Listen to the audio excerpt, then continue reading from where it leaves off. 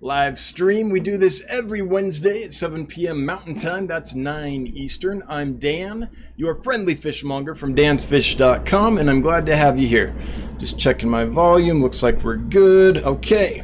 Awesome. Glad I could make it. Uh, it's been one of those days. And I was trying to, I was like, I've got to finish feeding the fish before the live stream. I've just got to. So I was like, the last few tanks, I was just like, ah, throwing food in. But I made it. I did. I made it. Okay. So we have a cool giveaway tonight. We'll be giving away a classic, some lemon tetras. And in just a few minutes, we'll talk about that and I'll tell you how to enter. 10 guesses what the hashtag will be to enter pretty easy. But before we do that, then I want to um, do the shipment report and let you know, guys know how everything has gone shipping the fish and kind of report in with you guys. So I do this every week for those that are new. Uh, I ship fish for a living, and every week I tell you if there were any losses, if there were any problems, uh, kind of just give you a report. I do this because it keeps me very engaged with the shipping. And if I have to report to you every week how things are going, then I'm not going to be cutting any corners. It keeps me honest. Anytime I might think, oh, I could just do it the easy way this week, knowing that I have to come here and tell you guys if something went wrong, keeps me doing it right. I mean, I would do it right anyway, I like to think, but it's, it's just an added incentive. Um, all right, so with that, the shipping report is pretty good since I last talked to you. As far as everyone's reported to me, there haven't been any losses. So everything we've shipped has arrived alive and seems to be doing well. So that's awesome, especially since it's uh, this cold. So to be able to do that when it's nice and cold is good. Um, I also got some different heat packs. I I hate this about heat packs. This happens every now and then. So I ordered a whole case of heat packs, and these were the. I have two sizes. One is 72 hours, and the other one's like 40 hours or 42 hours, something like that. Um, and I was excited because I got some 40 hours that had an adhesive on the back. So I was thinking, great, I'll be able to stick them up on the styrofoam, and that'll make it a lot easier. I didn't even know I had ordered those. I just ordered some, and uh, they happened to have adhesive on the back. So I was all excited. But I've have, been having some issues with those. For like every 10 that I put out, only like two or three actually heat. And so I got a little nervous about that as it got colder and colder. And a few weeks ago, I got a, a different case of 40 hour heat packs from a, a, different supplier. And all of those are toasty and nice and warm, like within a few minutes of being activated. So I think that's helping make a difference as we get colder that the heat packs are getting better. So uh, it's always a bummer when you get a dud, and it's like the whole case. So I don't know what happened. I is it like a 10 year old case? Like those things last forever if they're sealed. So not sure, but that's one of the hazards of being a fishmonger, I suppose. So anyway, things seem to be going well. Um, I got several emails from customers today, and everything seemed to be doing fine as of mid-afternoon when I last checked. And I'll get back to those folks uh, tomorrow. Today's been crazy busy, so I just glanced to make sure there were no problems and moved on with my day. I had uh, lots of fish to ship out today, and with the new import, I, have had to do all the medicating and, and TLC to get everyone healthy and happy, get everyone fed, when they first come in, it can be a little tricky to transition them to prepared food. So uh, it's it takes me longer to feed a fresh import than it would, you know, a well acclimated, settled in kind of fish. So it's been that kind of a day, but I made it. Let's do this. So let's get to the giveaway. The giveaway tonight is for some lemon tetras, a classic in the hobby, beautiful, hardy, um, aptly named. so if you'd like to win those, I will send the winner of tonight's giveaway six of those fish. And to enter, all you have to do is put hashtag lemon in the chat. L E M O N, hashtag lemon. So if you want to enter and perhaps win six lemon tetras, and they're nice size. I've had them for a little while. So they're good. Uh, they aren't little tiny ones. They have some good color. They're good size. And uh, basically, I was walking around the fish room today saying, what would be the thing to give away? So what I do is I just walk around and I'm like, what looks really good today? And there were a couple of them sparring and displaying, and so I was like, yeah, those. so not the rarest fish or anything, but one that I think will go well in almost any aquarium with, with small community fish. So, all right. Hashtag lemon to enter. And man, folks are entering. That's a lot of lemons in the hashtag. so, um, let me tell you about the import just a little bit, and then we'll get to your questions and comments. So, I did get the import. There was a problem with it due to you know the COVID situation and the lack of flights and everything. Um, they were sent by a different airline this time, and they had a whole day's delay. So they were quite delayed, and that's not good when you're doing an import. And so some of them came in really rough. The ones I'm most worried about right now are I, I got some uh, King Tiger plecos. And they came in, and some of them had red streaks on their bellies. And I'm treating them. We seem to be recovering, but they aren't eating yet. It's touch and go. I've lost some. And so I'm, I'm worried about those quite a bit. Um, and there's a couple others that are, are, touch and go right now. But even with the uh, delay, um, almost everything came in well. Rougher than normal, but well enough that as of today, almost everything is settled in and started eating and, and starting a couple days ago really started to settle and, and look like, okay, they're confident in their tank now.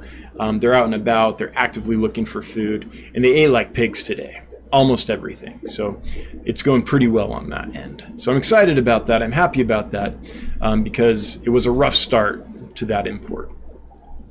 Got a whole bunch of Chilatherina. I always do Enia, Chilatherina bleheri in because I keep selling out of those every time I bring them in, and folks keep asking me when are you getting more. So I do have a lot more. Uh, nice size group. They're smaller. They came in at about two inches, right about two inches this time, instead of the three inches from before, which is nice because it means they were able to send me a lot more in the box than they could have with the big ones. Um, and then the fish that I'm absolutely in love with was a suggestion from someone in um, this chat a few weeks ago asked if I could get these, and I looked into them and I was able to bring some in. So I did get in some Stiphodon annii, which I am super excited about. And they are so pretty. The least colorful one looks this good. Um, this is fully fired. And a couple of them, the more dominant ones, a couple of them are looking something like that. Here's another picture of them. Oh wait, that might be something else. Sorry. Not a whole lot of pictures of them, I guess. Oh, here we go. I'm not quite sure if that's the same species, but that looks pretty similar. Um, but anyway, those and some other neat gobies that came in are what keep drawing my eye whenever I go out to the to the fish room and um, or to the annex where I'm keeping them, and and just look around invariably I find myself like staring at them. And I have to remind myself, hey, you got work to do. I have to force myself away from the tank and, and down the aisle to finish my work. But um, got those and several other Goby types that I'm very excited about. They're doing very well. And um, if I if I could remember the names of all of them, I'd share them with you right now. But a lot of these, they are first for me and so I can't remember exactly what the scientific name is because because Latin and me. But yeah, so thanks again to the person that um, asked if I could get those, which kind of gave me the boost I needed to to bring in some of the more expensive gobies. I I tend to shy away when things are pricey, and these are pricey. And um, I know people are going to ask what, how pricey, and I can't, I don't know yet, but um, but they're doing well, which is exciting. They ate like little pigs today, got fat little bellies. They're, they're doing well. So anyway, that's what's going on in my world. Uh, we're still working on building the fish warehouse. Lots of progress. Engineering plans keep coming in um, and heading to the contractor. So it's, man, this is a process. when I first started this, I was just going to build like a pole barn out in the country, basically. And my brother Jonathan has a big tractor. We're like, okay, we'll bring that up. We'll level everything off. We'll pour a slab, put up a simple building, and it won't be a problem.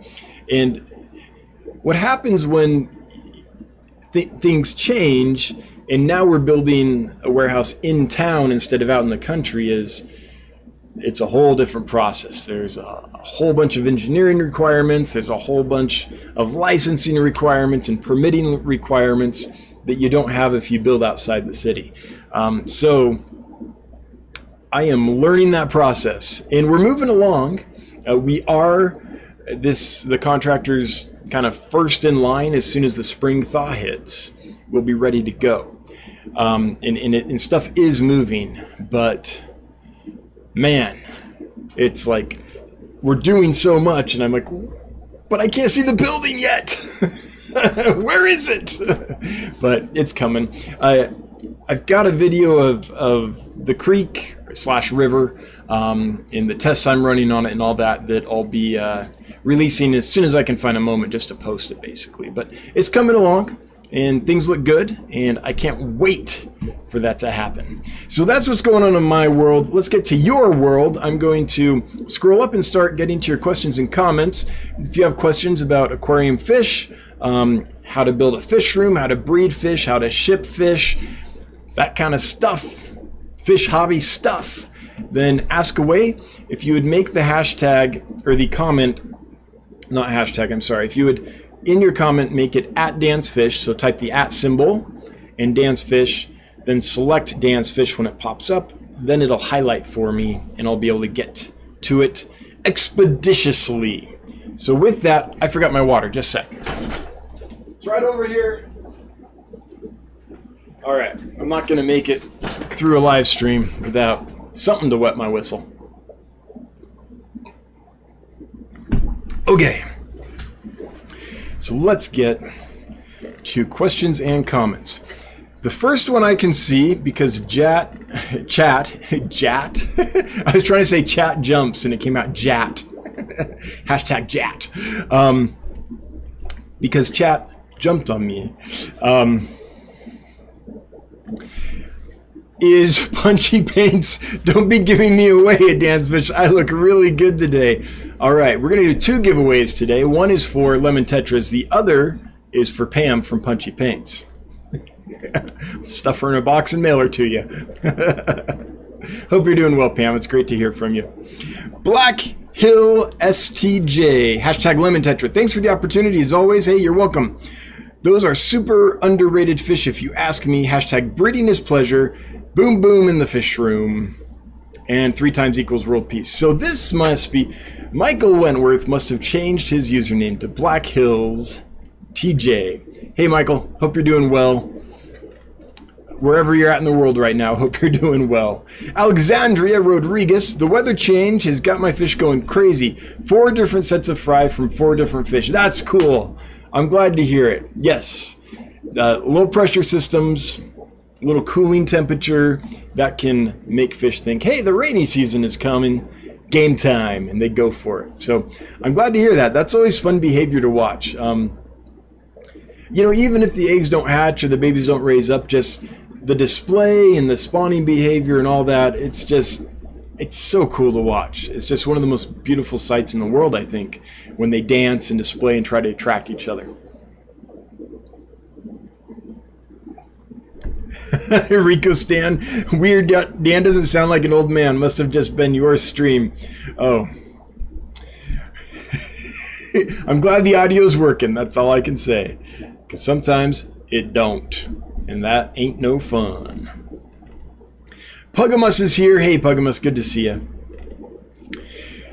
Blake Adams, do you feed while you're medicating new fish? I feel like a lot of back and forth on that on the internet. Watched your med video today from three years ago. Great info. Okay. So, yes and no. anytime I'm using antibiotics, anytime they're in a quarantine tank and I'm using antibiotics, I generally do not feed. And the reason for that is if I'm using antibiotics, they will kill the bacteria, the nitrifying bacteria, so I can't have any filtration in the tank. And I don't want ammonia in the tank. So, in my experience, ammonia is much more deadly to fish than going without food for a little while. So, generally, if they're in a hospital tank, I don't feed until they get through the antibiotic regime.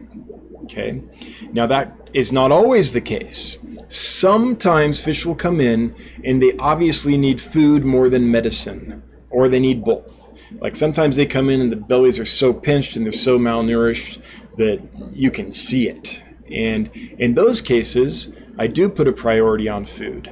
Hopefully, in a case like that, where the fish need some nutrition right away, I have a tank not in the hospital tank system that is empty and has a mature filter in it where I can put them and feed them right away.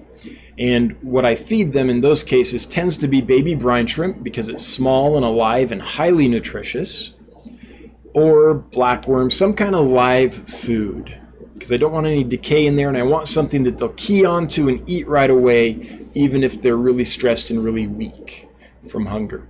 So sometimes a fish is so in, in such dire straits that it needs food more than medicine, and then I'll try to do that. Um, if a fish needs food and antibiotics all at once, that's a tough call. Sometimes I'll just put them in a hospital tank and medicate. Sometimes I'll put them in a hospital tank and I will feed and just make sure I'm, that they're eating everything and I'll only feed live food and I'll siphon the bottom very frequently so any fish poop doesn't decay in there. But that's tricky. When you do that, you have to change a lot of water and you have to do it frequently because the ammonia in there can pop really, really fast. So, in most cases, though, let's say I'm getting fish in, they're not in dire straits, um, they go in the quarantine tank system, then I don't feed until they come out of that. So, kind of depends on the situation. Um, and it depends on the medicine. If you're not using a gram negative bacteria, or, or uh, an antibiotic that kills gram negative bacteria, I should say, um, and you're just able to keep them in a tank that's fully cycled and everything, why not feed them? That can't hurt. Now, I wouldn't feed a ton. I would just feed a little bit because new fish might not eat right away, but if they will eat right away, then why not give them some nutrition? Um, and this is one of the things when, that uh, that was clarified for me when I went to, when I attended the um, aquarium veterinarian conference. They specifically talked about when you get new fish in, get them good nutrition right away. So if you can, then it can't hurt helps them recover. Peeps lost sheep. Will you do a video on the fish you got in? That's the plan. Um, I can't promise it, but that's the plan. So where I'm at right now is that uh, basically the reason to post videos and pictures on a store like mine is to sell fish, right? I'm selling so many fish right now that I'm so busy doing that that it doesn't take time, it doesn't make sense to take time to take pictures and make videos. So when that equation balances out again, and I'm not just, all my time isn't tied up with just packing fish and selling them, because it will, if I don't post pictures and videos, sales will gradually diminish then I'll have the time to go ahead and post more videos and pictures. So right now I'm just it's this equilibrium thing. Sometimes I have tons of sales, so I can't take pictures and videos. I just don't have time. And sometimes sales drop, and then it's like, oh, now I can take pictures and videos, which boosts sales. So it's this thing going on. And that's just because I'm here alone, and there's only so much I can handle. I've got to care for all the fish. I've got to uh, arrange for imports and everything. Um, and I'm on a big construction project right now, which takes a lot of time.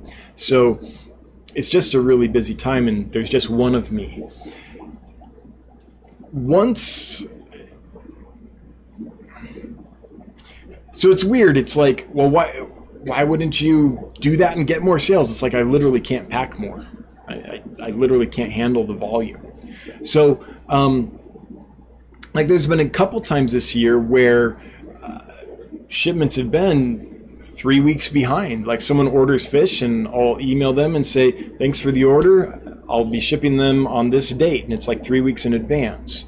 And I don't want to do something which will get me perpetually into that zone right now because I don't think that's a good customer experience. So I'm not really concerned about ramping up sales right now, which sounds weird, I know, but I don't want cus- I don't want new customers to come and then have that bad experience and be like, I'm not going to order from here again. It takes like 3 weeks just to send the fish. What's with that, right?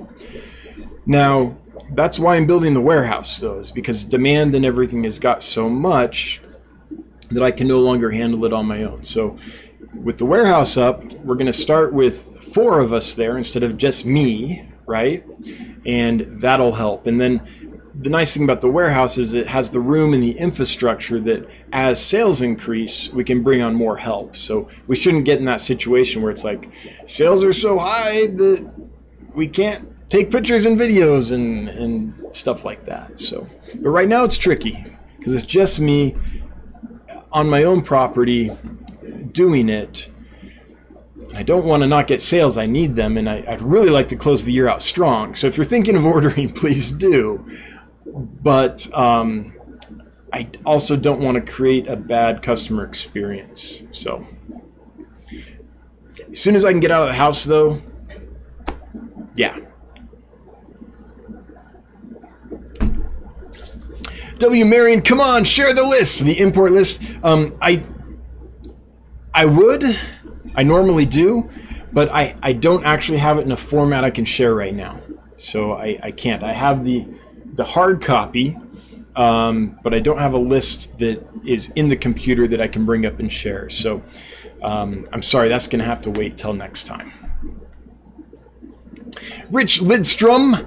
Hi, Dan. How do you handle maintenance like siphoning tank bottoms with a fish room?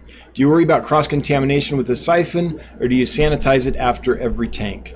Well, that is a very, very good question. So, did I say Rick? I, I, think it's Rich. Sorry if I said Rick earlier. So, Rich, um, totally depends on the situation. So, if I'm a hobbyist and I have my tanks going, then I'll have a quarantine area, right? That has its own siphon tubes and everything. But once they come out of quarantine, I'll have another section of tanks which is already been through quarantine and that'll have its own siphon. So I'd have two siphons in that case, one for the quarantine section and one for um, the normal section. Or it's probably just one single quarantine tank is what I'm envisioning. So um, that way, once a fish gets out of quarantine, then the risk is highly diminished. It has anything, and I would just use one and go back and forth. Is that perfect? No. Could there be an issue? Yes. But once fish are through quarantine, then we, we just say, okay, worth the risk. The risk is pretty low now. That's how I think it, it makes sense for the average person keeping fish at home. For me, though, how I handle it here is I really don't hardly siphon the bottom of my tanks. What I do instead is I have a sponge filter and a, a box filter to collect debris. A third to like 33 to 40% of the water is automatically changed every day and can overflow. So a lot of the debris in the water just flows out of the tank during the automatic water changes. And then I have a bushy nose pleco in each aquarium and they keep the bottom clean. They stir it up as they browse around, they scrape off any algae and stuff growing on it, and as they do that, they whip it up into the water column where it either flows out of the tank during water exchange or gets sucked up by the filters.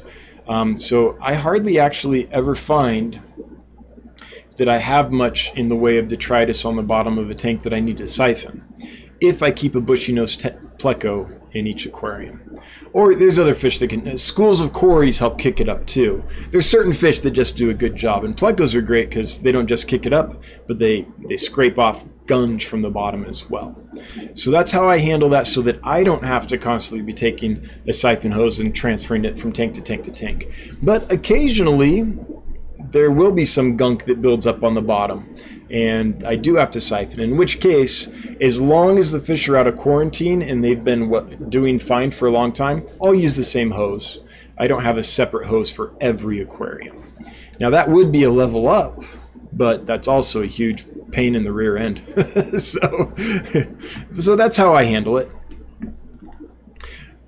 I'm not saying that that's the perfect way, the most biosecure way to do it, but it's worked for me for a lot of years, and um, it's been successful for me and for my customers that get my fish. So that's how I that's how I handle it.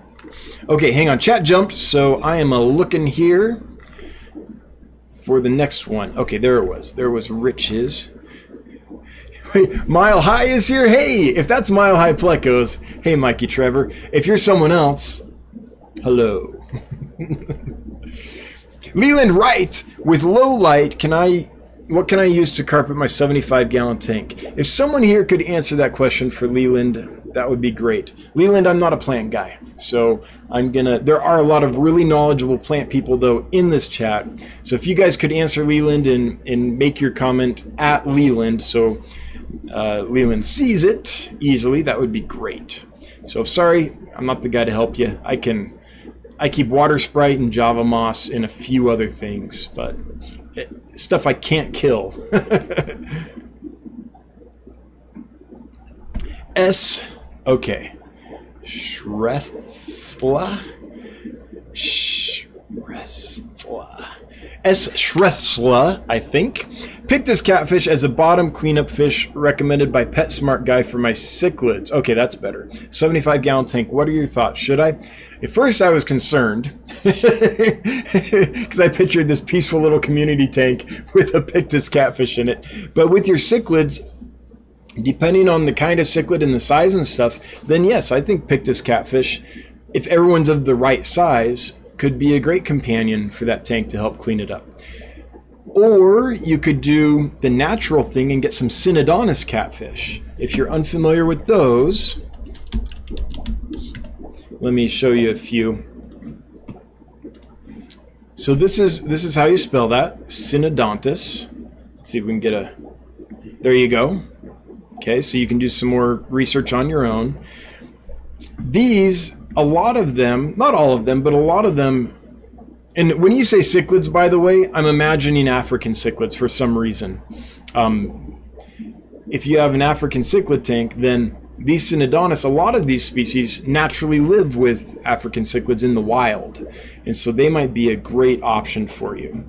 Now, if you're talking about I guess I should qualify this. When you say in your cichlid tank, cichlid is a massive family of fish um, Cichlidae, and there are many species. Some are tiny and peaceful and would get beat up by a Pictus catfish. Some are super large and aggressive and would eat a Pictus catfish. But if you're talking about like a mid-size African cichlid, then I think it would work just fine. Michael Meliere, do you have any experience with canister filters? Thoughts? Yes, I do. Um, I run on this 125, I run a Fluval FX5. That's how old it is that's been going for I've had that thing running on various aquariums for 15 years now and it's still going. The only thing I've ever had to replace on it is occasionally the little rubber gaskets will crack because they're rubber. And I've had to replace those once. I think that was like three years ago. So, in my experience, I know a lot of people don't like canister filters but I've had great experience with them. I love the Fluval line. I never tried Elites. I have tried some others, but the Fluval is the one that has lasted a long time, um, and I really like them. So I don't think there's anything wrong with canister filters, and I don't think they're that hard to clean. I mean, you you turn the valves so that the water doesn't come out of the hoses. You pull off the top or you detach the hoses, and then you have access. I I don't understand people that are like, if you get one, you'll never clean it. To me, it's not hard to clean at all. So I actually really like them. If you do use a canister filter, it's much more effective to have some kind of pre-filter. I know Aquarium Co-op sells the pre-filter sponges. Those really do work and help keep the canister filter going longer so it doesn't get so gunked up as quickly and also keep stuff from getting sucked in there that you don't want getting sucked in there like you know snails fish stuff like that. But in this tank what it is is there's this massive i don't know if you can see them but um, this this corner has this big weir in it and it's just stuffed full of filter floss and every couple years i'll open up the canister filter to see if i need to do anything with it, and I never do because the filter floss takes out so much detritus and stuff that by the time the water gets to the canister filter, there's hardly anything in it as far as gunk goes, and it's just more biological filtration at that point. So it runs very efficiently on that system. So I really like them. Now I will say. I have had a bad experience, I, I, I, guess I should say, and that was from I think it was the, the brand was Cascade. I think we got it at Petco. I had a friend that was setting up a 55 gallon in his um, house, and um, I don't know why that's important in his boudoir, no, in his living room, and um, the only canister filter we could find in town was the one at Petco. I think it was called the Cascade. That thing just leaked all the time. That that was a problem. But the Fluvals have been good for me. Alex Repco, or is it Repco? That would be Repco. Shipping fish in breather bags, pros and cons. So, pros are you can ship more fish in less volume. Since you don't have to have room for air in the bag, let's say I'm shipping in a, a standard traditional plastic bag that's not a breather bag. I would have about a quarter to a third of that water and the rest air, right? So 75 to two thirds of it is wasted space that you just have to have air in. All that goes away with the breather bag, so you can ship a lot more fish in a much more compact area. That's the advantage. The other advantage is it doesn't slosh around as much. Since the bag is totally full of water, you don't get that wave action as much. So maybe it's a little steadier in there for the fish. Now, fish generally can handle a little sloshing. They they know how to swim really well. But um, those I believe are the two pros. My experience, everything else is con. I find them flimsy and hard to work with. When you're trying to seal them correctly, that can be a pain. Um, but I, I, I used them for years. Here's the thing, though, that makes breather bags unacceptable for shipping fish is that UPS, USPS, and FedEx, I don't know about DHL, but who ships fish DHL? The three main carriers all have a policy for shipping live fish, and you should read it. You should know what their policy is if you're using their service. The policy states that there has to be redundancy, they all have to be double bagged. And here's where you get the big problem I have never found a way to double bag breather bags that works. I've tried all the ways. The manufacturer says there's a way to do it. If you look online, they'll say, here's the way you do it. I, I've never got it to work. So, because I can't double bag breather bags, and all the carriers require fish bags to be double bagged, I don't see how we can use them. Now, a lot of people don't double bag them and uh, just are not shipping according to the carrier's policy. But I look at the carriers as my partners in business. Um, I want them to be happy and I want them to make me happy. And so I do everything I can to make sure that they're happy with what I'm doing. And if you don't double bag and there's a leak, that's a problem, man. It doesn't just destroy your shipment, it it gets all the packages around the thing you're sending all wet too, and it can destroy a lot of stuff. It can be very damaging to their business. So, I don't know when I. I when I got cleared with FedEx, I, I literally had to ship them a box as a sample saying, here's how I ship fish. And I literally sent them a box, no fish in it, but everything else. And they had to open it and check it and make sure that everything was done so I could get certified as a, as a shipper of live fish for FedEx. So that's my thoughts on that. I know a lot of people that do ship with breather bags, but they are violating the policy of the carrier with which they're shipping. Now, that being said, if you're just driving your own car and you're going to the Killifish convention and you want to bring some fish there and you're not like shipping them via UPS, FedEx, or USPS, sure, that's great. You can fit a ton of fish in a suitcase that way. Um, no problem. But as far as actually shipping them, there's no way I know to do that and be um, and be compliant. Orange cones, if you have forgotten your water, you've lost your mind. You are a fishmonger. That's right. What's a fishmonger without water? Cheers.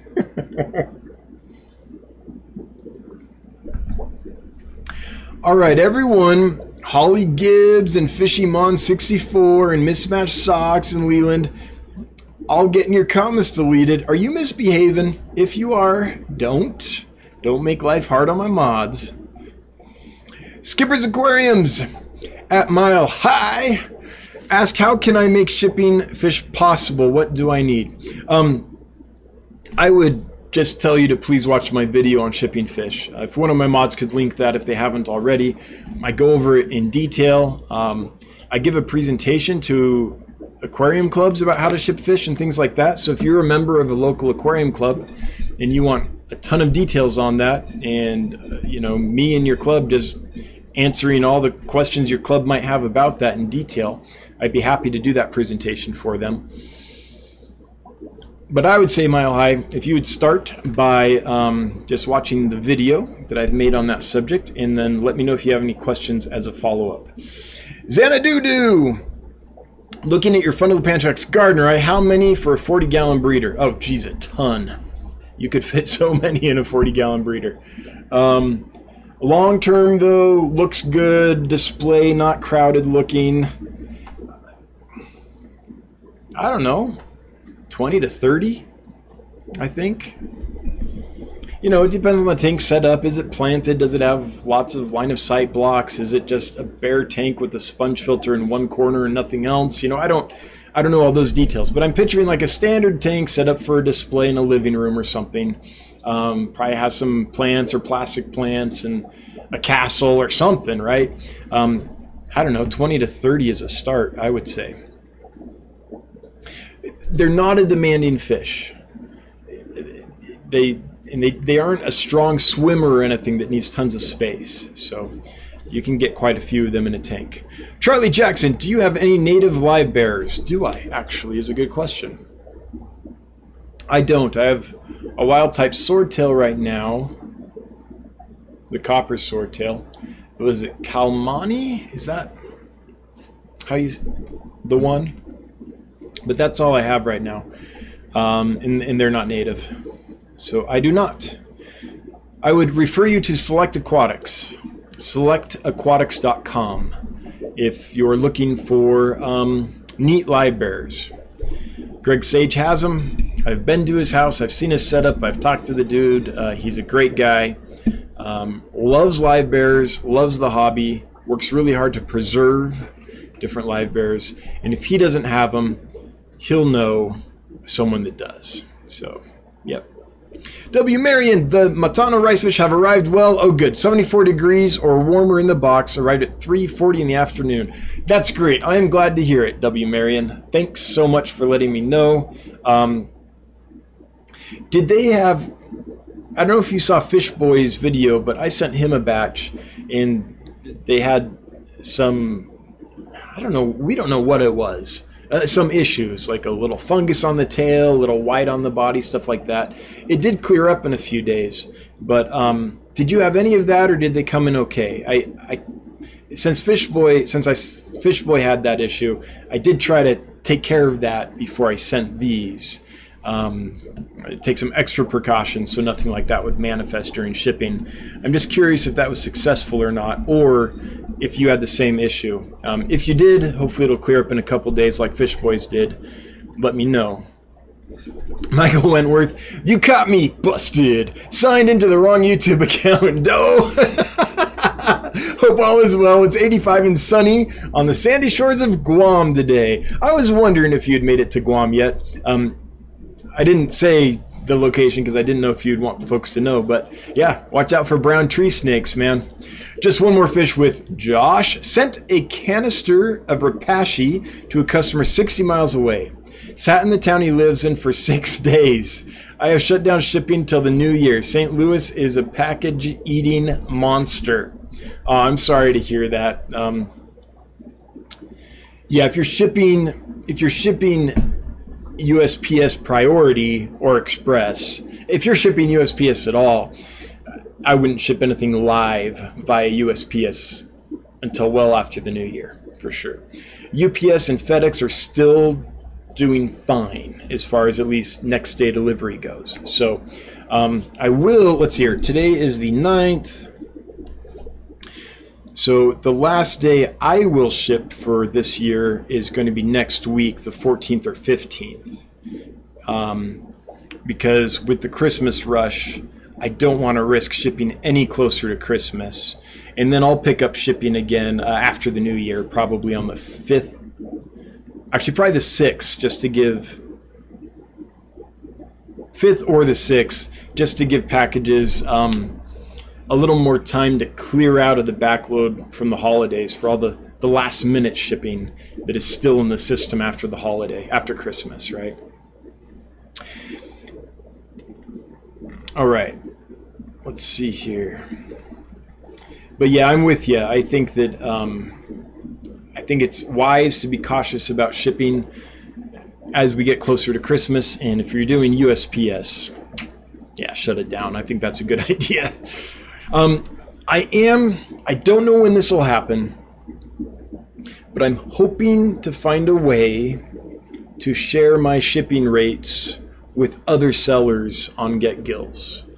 So I, there's a lot of like agreements that have to happen and with with my carriers to make sure that they're okay with that.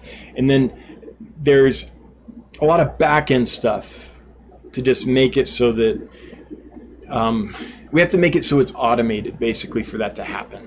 And so if we can find a way to do that, I would really like for folks that sell on Get Gills, even if they're a small seller, to be able to get really good rates via UPS or FedEx because the experience is just so much better than USPS. So it's in the back of my mind. It's it's I don't know if it can happen for sure, and if it can, I don't know when it will happen. It's not going to be anytime soon, but that is on the back of my mind. It's something I would like to do for folks. Crown Tail Half Moon, do you recommend using Epsom salts for thinning guppies? If yes, what dosage and treatment period? So, I don't think I would use Epsom salt for a guppy that is thin, if I'm understanding the question correctly. I don't think it's going to like clear out parasites and stuff. You could try it, it's not going to hurt him at all. Um, the thing I would use Epsom salt for is for a fish that's constipated or something like that. Uh, it's just like in humans, right? It's uh, that could solve the problem. don't take too much. um, but I don't know about using it for guppies that are thin in order to clear parasites, if that's the question, if I understood that correctly. That being said, I'm not a veterinarian and I don't have a ton of experience using Epsom salt. Mirik Tomshik didn't highlight, but I saw it anyway. Hi, Dan hashed a few batches of trilineatus and aeneus cories recently, but they never seem to take food and die three to four days post hatch. Tried baby brine shrimp, Repashy, wetted dry food advice. Let's see. Okay, couple things. Three to four days post hatch. So, are you waiting until they're free swimming before you feed them? Because they'll hatch and they'll have this big yolk sac they feed off for several days. And um, so, if you're feeding before that yolk sac's gone and they're kind of free swimming searching for food, that could be a problem because that food will just be rotting. They won't be eating it or not eating much of it, especially the beginning there.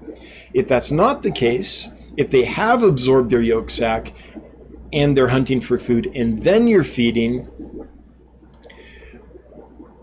is it an issue if you've never seen the bellies nice and full of food? Um, if that's the case, that's surprising to me because I've never had a baby Cory that was ready to eat and had access to live food, you say baby brine shrimp, and wouldn't eat. Um, so, I guess the question is this Are they just not eating at all, which is strange? They will eat baby brine shrimp. Something that could help is if you refrigerate your baby brine shrimp before you feed it. That will make the baby brine shrimp really sluggish. So when you feed them to the cories, they'll sink to the bottom where the cories are instead of being up in the water column where they won't get to them. But usually, enough of them are on the bottom at any given time that they'll get eaten, even if they aren't refrigerated. But that's one thing I guess I could think of that could help get the food down where the cories are but it could also be pollution. I mean, water fouls so quickly that it might be an issue of the water um, getting polluted from food that isn't being eaten rather than the cories not eating. So that's that's the question. Is it that they're not eating or that the water is getting fouled with excess food or that they're eating and the water is getting fouled, you know, any of those issues. So those are my thoughts on that. Without being there and like seeing your setup and, and actually observing the fish and being present, I don't know how much I could tell you about that. But um, the trick is feeding enough food and keeping the water clean. But baby brine shrimp really should work. You might want to try micro worms. Those sink to the bottom, and baby catfish love them. So um, maybe try micro worms. And uh, yeah, those are my thoughts. Maria Z, I found about a dozen half inch baby panda cories today from the first bunch I ordered from you. Awesome, Maria Z. I am glad to hear you've got babies. Cheers! Cigars all around. and half inch, that's a good size. Those are out of the danger zone. Those should come up without any problems. I haven't said hi to my mods today. Hey mods, thanks so much for being here. I appreciate you guys. Thanks for showing up and doing what you do. Xander, don't mess around, man. Don't make Candy delete you. Igor Anonymous, my filter died four days ago. The new one will be here tomorrow. How long will the beneficial bacteria live in the canister filter? Will I have to start over? Thanks. Did I? Thanks, Edgar. Igor Anonymous is Edgar.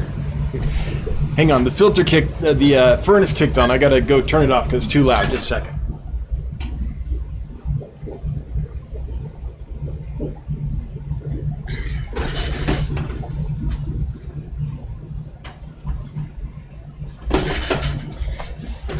That's how you know it's live, folks. Yeah, it's it's literally the furnace is like 10 feet from me. It, it's super loud when it kicks on. Igor Anonymous. So let's see here. Yeah, so beneficial bacteria needs a good supply of oxygen. And if you have a canister filter and there's not a constant flow through it, I don't think your population of beneficial bacteria is going to be doing very well in there. So you're going to have plenty of beneficial bacteria, though, still in your aquarium. I'm imagining you have an air stone in your aquarium or um, some kind of redundancy. Um, if you don't, that could be a little rougher, but on the surfaces in your aquarium, there should be beneficial bacteria.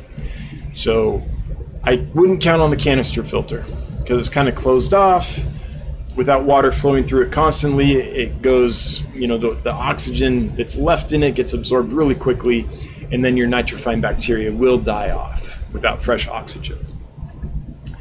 They need a constant supply of it. So I wouldn't be like I have to start over completely, but I put your new filter on. Understand there's already beneficial bacteria in your aquarium, especially if there's some kind of redundant thing, even just an air stone somewhere in the tank that's keeping stuff from getting stagnant. And but even if you don't, there'll still be some somewhere. So I would put the new filter system in place and just maybe not feed for a couple days after you get the new filter system. Um, or not now either. Like I wouldn't feed for a couple. I wouldn't feed till the filter system comes and has been running for a couple days, and then I just feed very lightly for about a week or two until that filters enough beneficial bacteria is moved from the aquarium into the canister filter for it to be kind of up and running. And I would definitely get an ammonia and nitrite test kit if you don't already have one, so you can keep tabs on that. And if you see a problem, you know to change some water. But keep uh, keep the food very light for a while until things kind of catch back up. That's how I would handle that. Orange Cones, you need a photographer. I know. Um, I'm going to be putting out a call. Um, we are looking to hire some folks, and one of those people is a content creator. Basically, I'm looking for like a Jimmy. Um, and I, I don't want to talk about it a ton tonight because I have to write the job description and get everything clear, but that is someone who will be one of the four of the kind of founding team to start the warehouse with me. Um, someone to help create content so that we don't get in this situation permanently. Punchy Paints, if you have a question for Dan, please remember to type at Dan's Fish so he sees it, right? If you do that, it'll be this bright, nice orange at Dan's Fish, and I'll see it. So thanks, Punchy Paints, for reminding folks. How we doing? 753. We've still got we got time.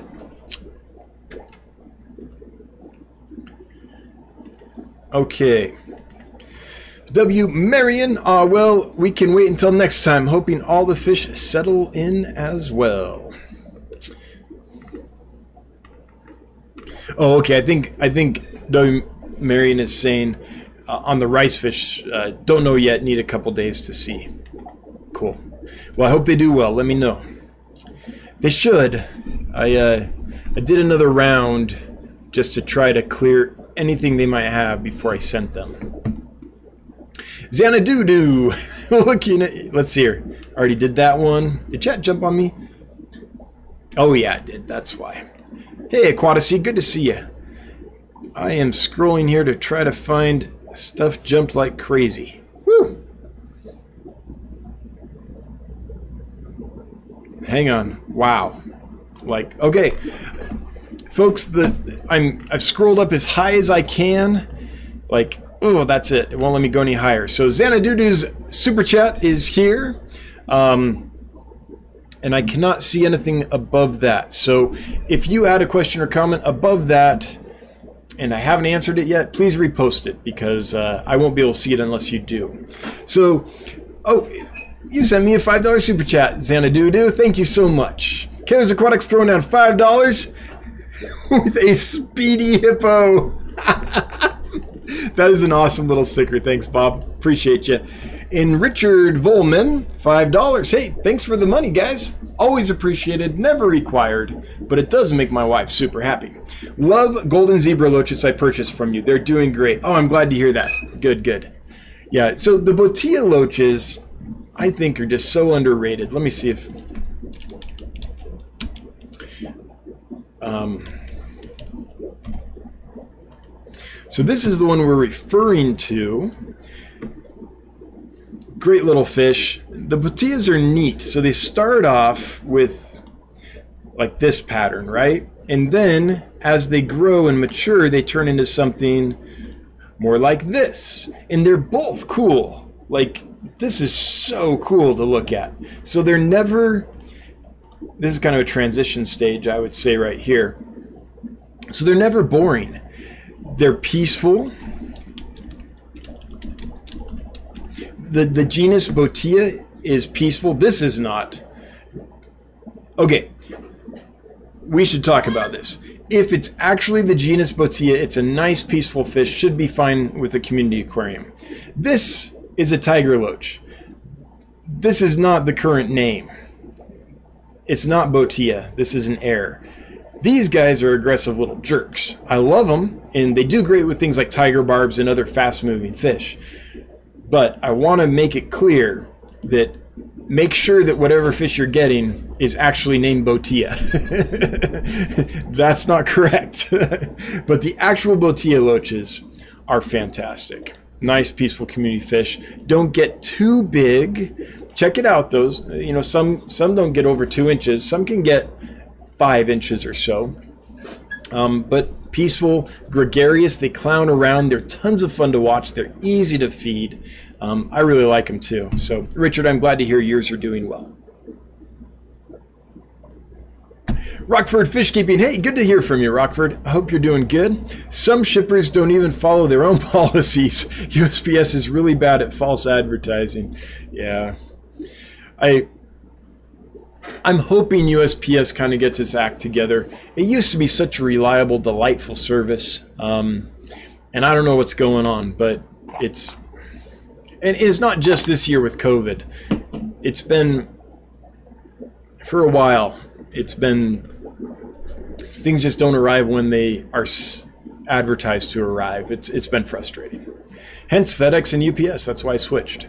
Crown Tail Half Moon. When shipping bettas, do you need to add pure oxygen or just trap ambient air will be adequate? Either one is fine. Either one. Um, for the last several years, I've shipped with pure oxygen with bettas. Um, yes, even betta splendens. I know there's all kinds of lore out on the internet that that's harmful or something. It's not.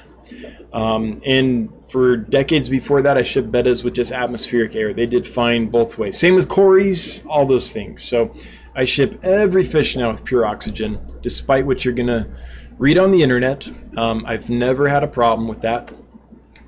But bettas will do fine either or, whichever works for you.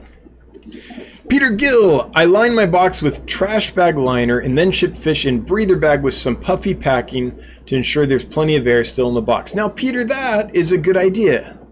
So what Peter does is he puts his okay, so you got a pack within a pack. So you put your breather bags in there, then you put some kind of oxygen transferring type material around it to make sure there's a bubble of air around that, and then you seal that up.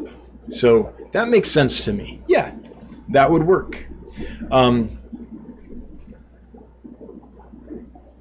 you wouldn't save the space though that you normally would with a breather bag because instead of just having extra air in each individual bag, now you just have it in in a lar- in a larger bag around them. So it doesn't save space, but that makes sense to me. That seems to be a way that you could use breather bags, be in compliance, and it could work. Yeah, good idea, Peter. Thanks for sharing that.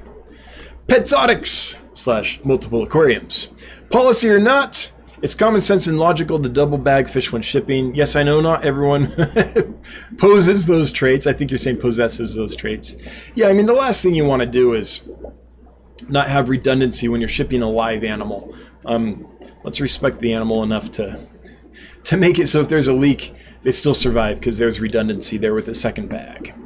Orange cones, what if I send you a cooler to fill with, say, 100 chili rasboras? Think of all the plastic you would save. now, if you were to, like, come over here and bring your cooler, I'd be happy to fill it with chili rasboras. Mailing a cooler, though, yeah, that gets a little dicey. Thank you, uh, Candy, for posting select aquatics there for whoever was asking about um, native live bearers. All right, Rockford Fish Keeping. I wouldn't ship anything not alive through USPS either. I think you mean I wouldn't ship anything alive through USPS. Yeah, yeah. Uh, right now, it's been rough. Yeah. W. Marion, I did see Fish Boy's video. I saw no signs of fungus or white stuff on the Matano rice fish I received yet. Oh, okay, good. Then I don't think you're gonna have a problem because with Fish Boy it was right in the in the bag before he opened them. So I think we got it. So uh, just another round of uh, and Prazi is all. So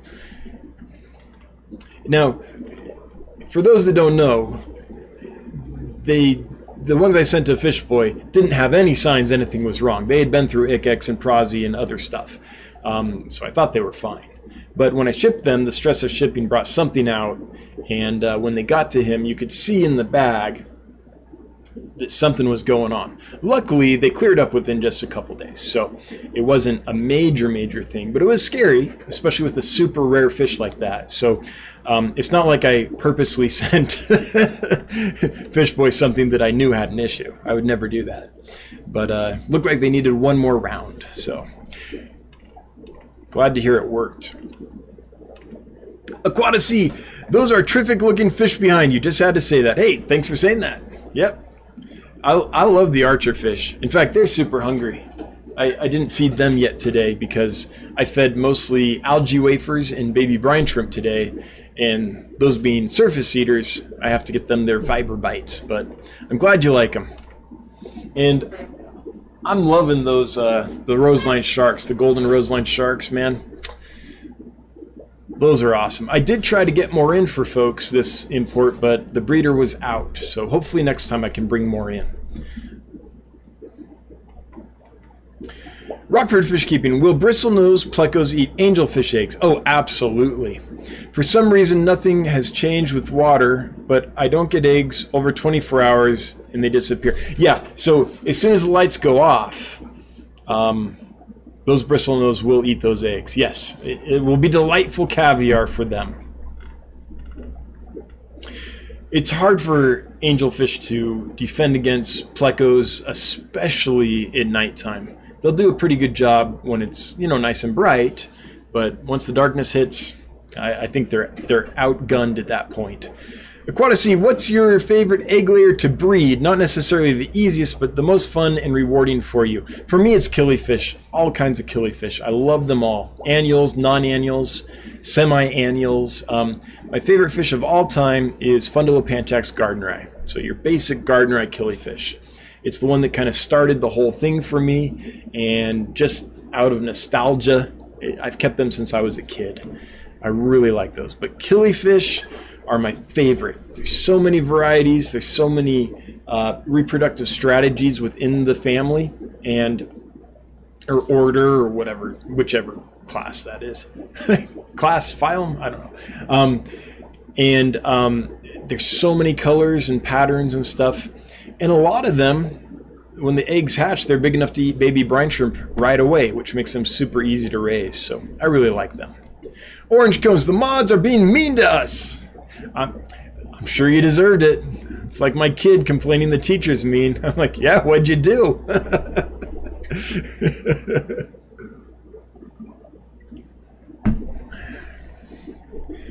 okay. Hey, we have 230 folks here. That's pretty good. Let's go ahead and do the giveaway now. That way, the the latecomers that come in the last five minutes just to just to see if they can win something and freeload won't have a chance. Let's do this. Let's stick it to the latecomers. So we're going to go ahead and do the giveaway. This is for six lemon tetras. And the winner is Mike's Aquatics and Things. Subscribe since April 23rd. Hey, glad you're here, Mike. Thanks for being a subscriber. I appreciate it. If you would respond within the next minute or so, let us know you're here. Um, then I will send you these on Monday or Tuesday next week. I'll send you a box of six lemon tetras all free. You don't have to pay shipping or do anything. Just email me your first name, last name, and mailing address, and I'll put them in a box and send them to you. So let's hope that Mike's Aquatics and Things are here.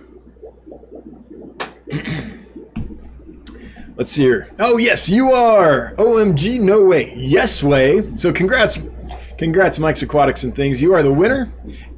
It's it's so funny when people actually win. It's like, oh, it's real. and then they actually get the fish. It's like, oh, this happened. it's so much fun. I love doing this. Um, so send me an email, dan at dansfish.com. First and last name with your email address, like or with your mailing address, like I mentioned, and I'll just send those to you. All right, chat jumped big time.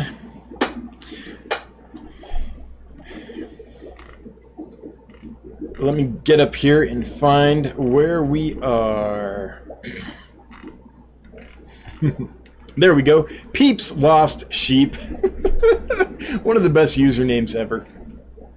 Have you considered selling scuds, even just small batches of 10 to 20? I have. I've thought about it. The issue is, I've got like 100 pea puffers right now, and I just brought in a bunch of rare wild gobies, and I want to bring in some pipefish and things. So,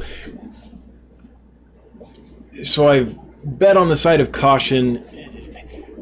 Basically, I have to be 100% sure that the fish I'm bringing in will have enough scuds to eat. I can't like take a risk that I can't take care of the fish I bring in, right? Um, so I need to make sure before I can sell any. And puffers can go through a ton of scuds. so can like fish that are wild and haven't yet settled in. I, I want food they recognize and go for right away. And so scuds are a part of that arsenal. Now that being said, the pea puffers I have, they'll eat frozen food and stuff as well at this time. But um, but I'm planning on bringing in some pipefish, and pipefish are going to need scuds. Baby brine shrimp isn't going to cut it, and I don't have Daphnia, so I just uh, I'm just not comfortable doing that at this moment. Now, I'll tell you who will sell you scuds is HC Aqua. So HC Aqua, if you're here and if you do have some scuds available, would you let us know or anyone else that might have some available for sale so Peeps Lost Sheep can get some? And yeah, 10 to 20 is all you need to start off. Orange cones, if you keep plants, a filter crash is not so bad. That's true. Yep. Planted uh, tanks can survive a lot of issues. Plants are a nice redundancy for a lot of things. Now, it's not bulletproof, but it can certainly help. Mile High, what is the first fish you ever bred? Um, the first, I don't remember the first one I ever bred because I had a few guppies or swordtails or something. But the first one I remember breeding and bred on purpose and was super. Ex- well, I was excited when the guppies and swordtails had babies too, but the first one that really, really got me was Fundulopanchax gardneri. So that's why that's my first and favorite. That's why my, my okay. That's why that's my favorite. It was my first egg layer. Crown tail half moon. Is it necessary to use UV in line with canisters? Nope, I never have. Most people haven't. That's a fairly new thing, and um, depending on the system, it can be more of a gimmick than an actual thing that works. So if you are interested in UV, do some research, make sure you're getting enough wattage to actually do the job, make sure the placement is correct, and, and all that. So it's wattage per flow rate, and flow rate depends on the amount of gallons in your aquarium. So a lot of times that can be gimmicky and such a small little thing it doesn't even work. So yeah, I would just do some research, make sure you're sized right for it to be functional. And the reason I think that's important is I don't want people to. Not all UV bulbs are created equal. And if you don't have one that's up to the task and do the maintenance necessary for it to continue being um, effective, you're going to be thinking you have this thing that's helping when it isn't and so you might um, think, oh, I can do this now. I can add 10 more fish because I now have a UV filter. And you can't. Or, I don't know, it, things like that. So I don't want people to get a false sense of security. Um, that takes some real research to figure out the correct sizing of a UV unit. Michael Wentworth, I know you don't offer up many of the harder water type fish due to your soft water source out there. so jealous, yep. When you expand, do you plan to mineralize and offer harder water species? Yes. The water I'll be drawing, I just, let me show you. I think I can, let me see if I can bring this up real quick, then I'll share it with you. Um, so I got it tested this summer, and I got it tested again, like, got the results today because I wanted to make sure that um, I know my water really well. And once the building's up, we'll test it once a month for the first while. Let me see if I can find this and share it with you. Here it is. So this is the test that I got in today, if it will load. Why is that not loading? That should have loaded by now. Okay, come on. I just want you to open. Why won't you do that? Okay, bear with me for one second. This is being weird. okay, it wants me to download it. I didn't have to do that last time. Okay, here you go. Here's the water in the creek as of today. I turned this sample in, uh, I don't know, a couple weeks ago, got it back today. So pH was 8.4. Alkalinity, 277. Hardness, as of calcium, pretty much, 300 basically. So it's actually kind of hard alkaline water out there at the creek, um, at least right now. And that's how it was this summer too. I'll do another test once the rain really starts and see how soft it is at that point. Um, but yeah, I'll definitely be bringing in um, harder water fish because I'll have harder water. And I'll also have my current water source is well out there. So I'll have soft water and hard water. So it should be a nice mix. So I don't think I'll need to mineralize if I'm drawing from uh, that river because it's fairly hard. At least it has been the last couple tests. And those are tests done at a professional laboratory. I'm confident in the results. Um, Rockin' Fish. Did you hear Global Fish Company in New Jersey, I think, got in a Nigeria order last week? No, I did not hear that. I'm going to have to. Now I'm excited. I did hear back from my vendor or one of my sources in Nigeria a couple days ago, and he said that he was in discussions with. Um, I don't know what the name of the thing is on their side. Basically, with the commerce agent there trying to finalize the shipment. Um, it wasn't finalized yet, last I heard, but hopefully within the next week or two we could get that in. Of course, right when I landed another import is when that would happen. but no, let me let me check on that. I did not hear about that, Dave, um, but that makes me excited. I wonder which airline he used. We're trying to do it through Delta. I wonder if there's someone else um, that can do it quicker. Aquatasy, what's your favorite egg layer? Already got that one. Rockford Fish Keeping. Nope, what I meant is I wouldn't use USPS for anything anymore, live or not alive. Oh, not for anything, period. Gotcha, gotcha. Orange Cone, sad to see misinformation given by some big box stores. Saw common pleco as needing 15 gallons. Oh my gosh, of water. Not for long, sheesh. Yeah. This gets my goat. And the fact that...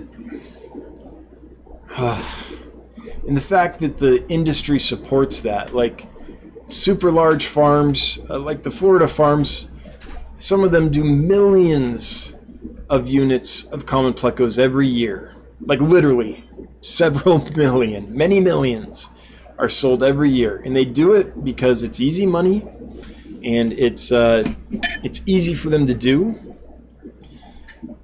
and there's a market for it. And unfortunately, because of that, it keeps getting the industry just keeps driving that item because it's so profitable and so easy. Ugh, yep. Yeah, I don't know what to say about that. It's just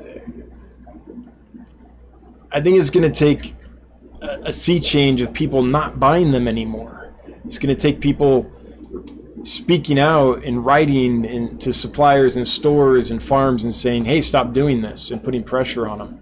Um, but what it's really going to take is just the market drying up for them. So maybe it's educating people that there's a better option called bristle nose plecos or clown plecos or rubber nose plecos or whatever. Um, rubber lip plecos. But th- that's a long, hard fight, though. They're so entrenched and they make so much money for the industry that the industry's incentive right now is all about moving them, even though it's not the ethical thing to do. Yeah, it kind of breaks my heart. 15 gallons. Jeez. Swamp Thing, $5. I'm a hobbyist, but I'm currently raising 1,000 rainbow fish. Woo! Wheeze! How can I not feel guilty selling these things? The last thing I want is to hurt the pros. Oh, I no, sell them. Why not? Go ahead. if you want to sell them like if you want to sell big batches, send me an email. Let me know what you have and how much you're asking. Um, I'd be interested in buying a hundred or two from you, depending on what kind they are. If it's multiple kinds, I sell a lot of rainbow fish too. I'd buy them from you in bulk. But if you don't want to sell them in bulk, don't feel guilty, man. You bred them. It's your right to sell them. I hope they do well for you. I hope you sell tons of them. Um, GetGills.com is where I sell mine. You're welcome to join. Sell yours there. No problem. See, I think it's I think it's an entrenched old-fashioned idea about competition. I honestly do. I look at things like this as synergy instead. If you sell high quality fish, what you're doing is making it so that people that buy your fish have success with them, which means they're going to stay in the hobby and they're going to buy more fish for years and years and years, as opposed to just selling a fish that isn't healthy and not going to do well and drives people out of the hobby. So I welcome with open arms anyone who is selling fish in such a way that people are going to be successful with their fish because the more people that stay in the hobby because they're successful, the larger the entire industry gets and the the pie grows for all of us. Um, you know that whole thing, rising tide lifts all boats. I'm good with that. Like the only time I want someone to get out and stop selling is if they're doing a poor job that people don't that their customers don't have success with because that drives those customers out of the hobby and that hurts me long term. That hurts everyone long term because then our market shrinks. What I want is everyone to sell quality fish so people have success and the entire market grows. Um, there's plenty of market share for everyone if that's the case. So come on in, sell your stuff, do it right, do a good job, take care of your customers, help them be successful, and let's grow this thing. It's not a problem. Don't feel guilty. You're part of the solution, man. I hope. I mean, I haven't seen your fish and I don't know what your shipping methods are, but if you're doing it right, come on in. All right, orange cones, don't make us report you to the ASPCA for starving the archer fish. Oh, yeah, they're anything but starving. They've put on so much size. They're, yeah. They're greedy little pigs is what it is. Just one more fish with Josh. Working on my first attempt at breeding bettas. I have two beautiful galaxy betta and the male has just built a bubble nest. Hashtag BIP. Awesome. I don't know what BIP is. Oh, breeding is pleasure. Ha! Amen. Um, congratulations. I hope they go well for you. And the key is small live foods, rotifers, infusoria, paramecium, stuff like that for the first couple weeks. Then switch them to the baby brine shrimp. I swear, with baby bettas, that's the entire thing. Small live foods to start with. In clean water, of course, as always, but that's the trick. They're just not going to do well if you feed only baby brine shrimp right away. They need that first week or so with smaller stuff. You'll get a few to live maybe, but if you want a nice big batch that grows to their full size and stuff, start with something smaller. Bunny Viper! Reminds me of a scene in Monty Python and the Holy Grail. Hi, Dan. My mom hates the shape of rainbow fish. Do the dwarf neon rainbows grow that way also? Thank you so much. Yeah, I would say so. Um, maybe to less of an extent, but a full-grown male dwarf neon rainbow, um, neon. Okay, let's let's see if there's any pictures there. Praecox. Once they get really big, then they do get a little funkier shape. Let's see if I can find a picture of a really old one. Maybe not to the same extent, but I'm not seeing a picture of a really, really old one. The biggest ones I okay, here we go. So this is start is this is the shape I think you're talking about. So this, the fish kind of, there's a little bump there, but not much. It's kind of like the fish's head matches its body, right? And then there's this one where the fish's head no longer matches its body. Oh, wait, I'm not even showing this. Sorry. Apologize. I'm real bad at my job here. So this is like what most people see when they see a neon dwarf rainbow fish, right? the, the head and the body are proportionate. What happens with rainbow fish as they get older is this, where the head and the body are disproportionate because the body kind of humps up so much. It becomes more circular. This is the look I think you're talking about that your mom hates. So even with neon dwarf rainbows, it does happen. Maybe not to such a stark extent as some of the other larger Melanotaenia species, but yes, it, it will happen. Now, they're not really rainbow fish, but blue eyes don't do that. So the pseudomugils and, and and things like that, those might be an option if you like that kind of fish, that family of fish, that group of fish, but don't uh, don't want the big disproportionate body to the little head sticking out thing. I know what you mean. Um, it is a little different looking, but I think they're beautiful. Sorry guys, I'm I'm not looking in the camera because I'm scrolling. There we go. Chat jumped on me. So mainly Bettas slash Keith. Another great stream, Dan. Thanks. Hey, you're welcome. And we have 189 here. Yeah, people did drop off after the giveaway a bit, didn't they? Raphael Swit. Hey Dan, ever breed, breed lamb chop rasboras? I have not. I'd like to get mine to spawn and looking for recommendations on how to get them in the mood, and later what would be the best food to, for fry. Thanks. Um, so, Raphael, I have not. I would refer you to uh, Mark's Aquatics. I don't know if he has a video on them or not, but the videos he has on the different tetras and rasboras and things that he has bred are detailed. They take you through the whole process, and the same principles will apply. The difference is Harlequin lamb chop rasboras tend to lay their eggs, I believe, on the underside of leaves and not just like scatter them in moss. But as far as taking care of the babies and the types of food and conditioning the breeders and all that, all that's the same. So I'd refer you to um, Mark's Aquatics. Has great videos on breeding small egg layers like that. Aquaticy, I think it's so cool that you do these giveaways. That's a great thing for you do for the fish fam here on YouTube. I'm, I'm glad you like it. I think it's fun. Uh, jeez. I think it's fun. Sorry, my voice gave out.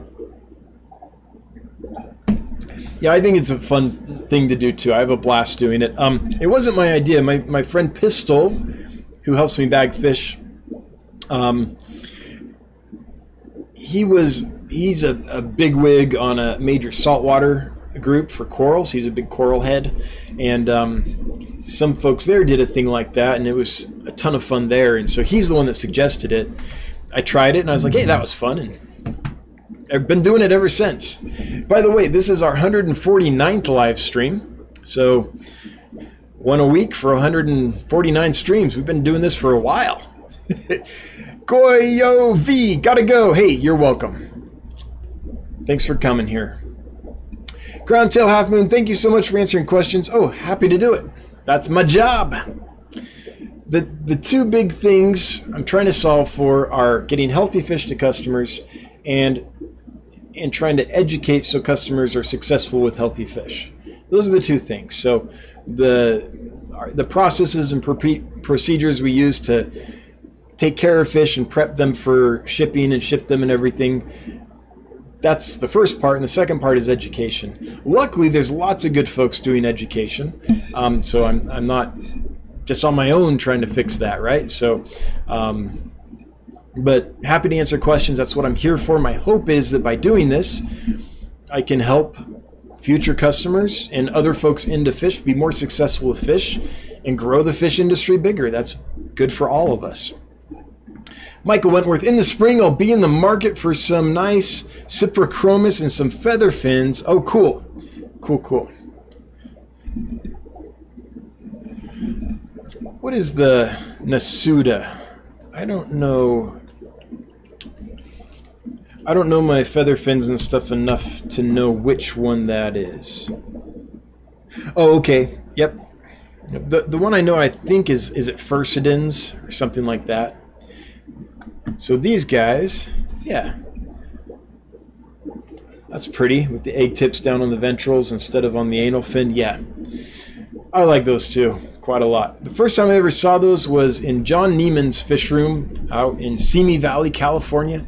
Um, he has a fish house just full of big tanks. He's got a big thousand gallon aquarium as well in his living room, which I think Blue Zoo did a video of.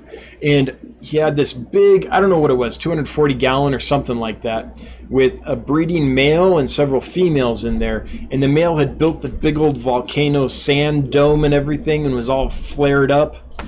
Whew. Man, some of those African cichlids, especially those Tanganyikans, man, they're they're so unique. Tanganyika, when stuff evolved there and just went poof, went a different path than Malawi and Victoria, it just it's so neat to fish from there. Alrighty. Steve Ehrlich. Hey, Steve, good to see you. There's a reason that there have been delays with USPS. It's easy to find out with a simple search. Simply bashing them is an ignorant thing to do. yeah. Well, I guess, but if they are supposed to provide a service in a in a in a time frame and they don't, then I don't know if the if the reason matters. The fact is they're not fulfilling their obligations, so you got to go somewhere else. So yeah. But I've been accused of being ignorant many times, and usually it's true. I don't claim a lack of ignorance.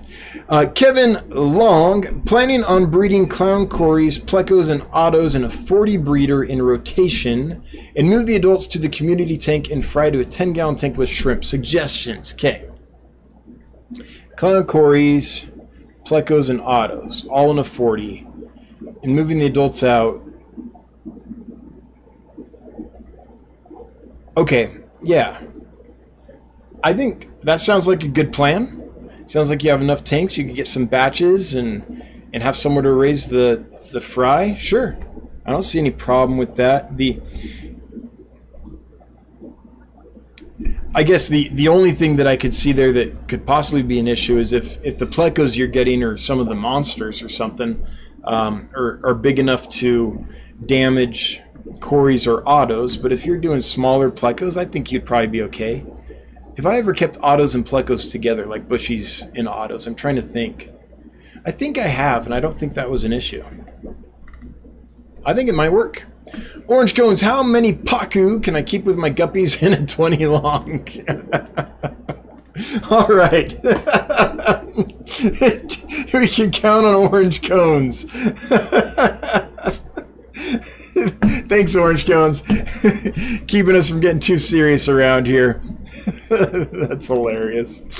Um, mainly bet is Keith. Is it normal for golden zebra loaches and yo-yo loaches to play dead? Oh yeah. I find them laying on their sides, thinking they are dying, and then they're up and swimming, and fine happens off. Yeah, that's what loaches do. They're just little clowns. Absolutely. They, loaches are loachy. Yep. They'll lay on their side. They'll yeah, no problem. Bunny Viper, thank you so much. You are so kind and go above and beyond to help us all. I'll be shopping with you sometime soon. I trust you and believe in your integrity. I just do, faithful follower. Well, hey, that's a nice comment to read. Thank you so much. That's very kind of you. Bunny Viper, appreciate it. All right, I think, oh, we got one more maybe. S. Shrestha. Do you sell Synodontis catfish? I don't. My LFS doesn't. Also, that was Mbuna. Yeah, how to get rid of diatoms, getting crazy, out of hand. Thank you for helping people like us educating. Great job. Okay, so diatoms, if you're talking about that brown algae on the glass, that's going to go away. That's that's something that tanks go through. Usually that indicates that your tank is fairly new and not fully mature yet. So you can get, like bushy nose plecos will eat that. Um, Otocinclus will eat that. Uh, Otocinclus aren't going to do okay with Mbuna, of course, but um, some of your plecos will take care of that. However, if you have a tank full of Mbuna and you have diatoms, I would just scrub it by hand and just realize that's part of a tank coming into maturity. So I, I don't think that's going to be an issue long term. That's something we almost, I wouldn't say always, but frequently see in a new tank as it's settling in. It's just a good sign that the tank is maturing and moving on. That's what I'd say about that. Okay, we are out of time, so I would like to thank everybody for being here, especially my moderators. Couldn't do without you. Everyone that left a super chat, thanks for the money. Always appreciated, never required, but it does help. Everyone that left a question or comment, thank you. Um, and I think, let's see here, is, is Punchy Paints going next? Let's see. If she is, I want to plug that real quick. And um, just take a minute here to see. Well, it'll pop up before I'm done. So if Punchy Paints is going next, head on over. You'll get some good fish stories and be able to geek out on fish some more. Um, we'll be back 7 p.m. Mountain Time next Wednesday. Until then, have a good one. Thanks, everybody. Bye bye.